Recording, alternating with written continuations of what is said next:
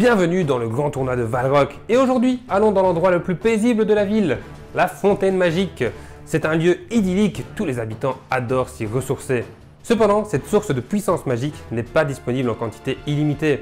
Durant le tournoi, les places sont chères et les mages se pressent pour ne pas manquer de cette ressource si indispensable. Vous trouverez le lien de la campagne Kickstarter en description de la vidéo.